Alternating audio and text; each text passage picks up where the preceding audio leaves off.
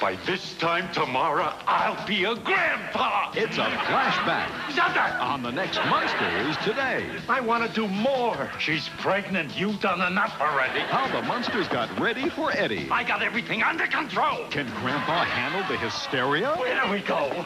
What do we do? Congratulations, it's a boy. Edward Wolfgang Munster. On the Munsters today. Tonight at 5.30 on Flight 22.